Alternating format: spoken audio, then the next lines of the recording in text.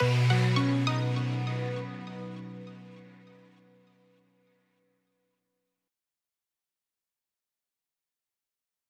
a chair, we uh, I have to to handle the horizontal uh, activities within OMA, looking at uh, the entire set of uh, architecture documents within uh, OMA enablers.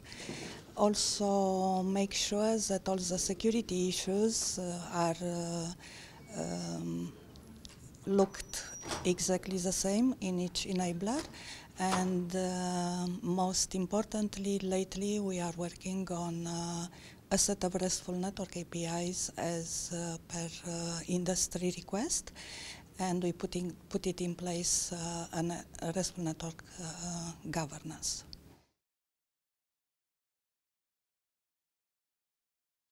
In this moment of time, in uh, OMA Architecture Working Group, uh, we are working on a couple of work items, all related to RESTful Network APIs. And the work is ongoing on RESTful Network APIs for quality of service, NMS, and uh, a profile for uh, GSMA uh, which in OMA is called RCS Profiles 3.0.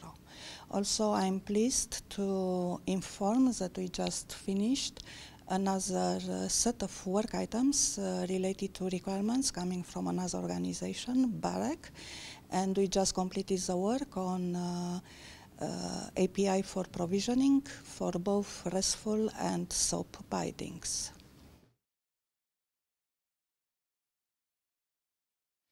Uh, The OMA is an organization that bring to the industry new standards for bringing new services to the uh, old stakeholder. And in particular, we in uh, our architecture working group have a lot of experts that have been uh, involved in several activities during these years. In particular, we have brought and make available to the industry more than 40 uh, API, network API that are used um, both by the operator, but also the third party that connects to the operator.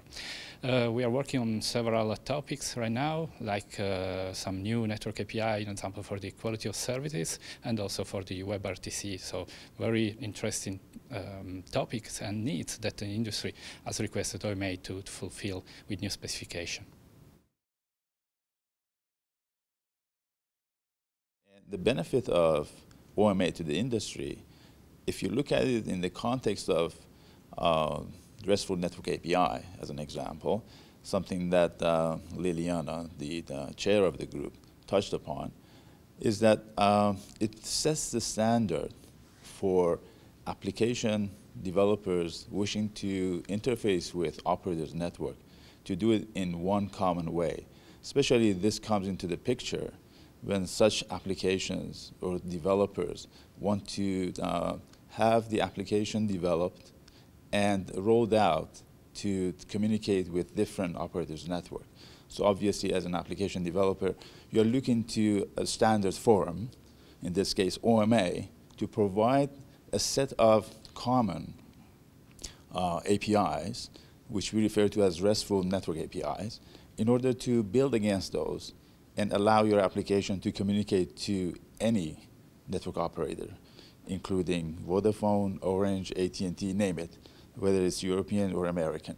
So this is the benefit of OMA to the industry.